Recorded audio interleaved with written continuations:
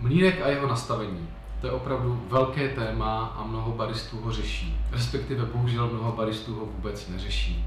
A přitom nastavení mlínku je základní dovednost a znalost baristy a barista nastavuje mlínek denně.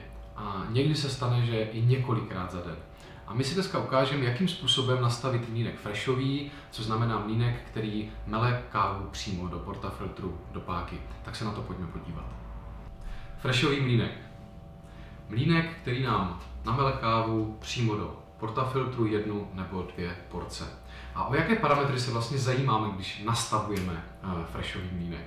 U valné většiny mlínků jsou to v zásadě dva parametry. Prvním parametrem je hrubost mletí, druhým parametrem je čas, doba, po kterou mlínek mele a vydává jednu, případně dvě porce kávy. Já doporučuji eh, napřed nastavit jeden parametr hrubost mletí a odvážit si gramáž ručně.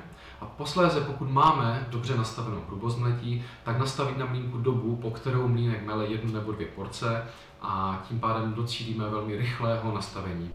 A co ještě budete potřebovat při nastavování mlínku? Velmi doporučuji pořídit si váhu, která váží s přesností na desetiny gramů, protože je velký rozdíl, pokud připravujete porci z 8,5 nebo z 8,9 gramů. Nastavení hrubosti mletí. Ve valné většině případů bývá na mlínku tzv. aretační tlačítko a posuvný jezdec. Je důležité vědět, které páčky to jsou.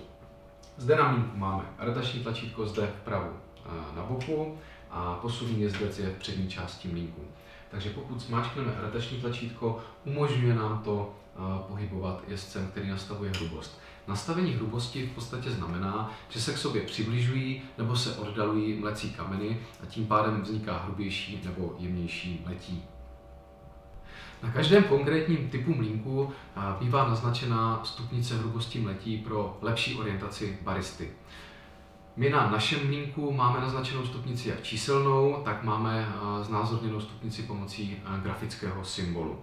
Obecně platí u stupnice, že čím nižší číslo, tím je jemnější hrubost mletí. U grafického symbolu záleží na jeho, na jeho vyjádření.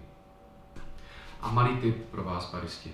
Pokud máme na našem mlínku nastavenou teďka aktuálně pětku a připravíme z dané kávy a při porci 18-19 gramů perfektní dvě espressa, a přineseme si jiný mlínek a opět nastavíme pětku, nemusí to nutně znamenat, že při stejné kávě a stejné gramáži se nám povede vyestrahovat opět perfektní espresso.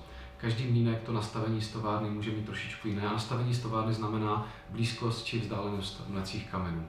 Což znamená, ano, každý mlínek si musíme nastavit zvlášť.